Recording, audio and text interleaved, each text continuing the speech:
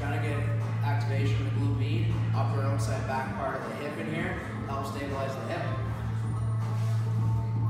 Laying down, foot, knee turned out without turning the hip, so hip stays flat, knee turns out from here to lift the whole leg up. Feel the contraction right up in here, keep that foot turned out to the back. Five seconds, keep trying to squeeze more and more same on the other side.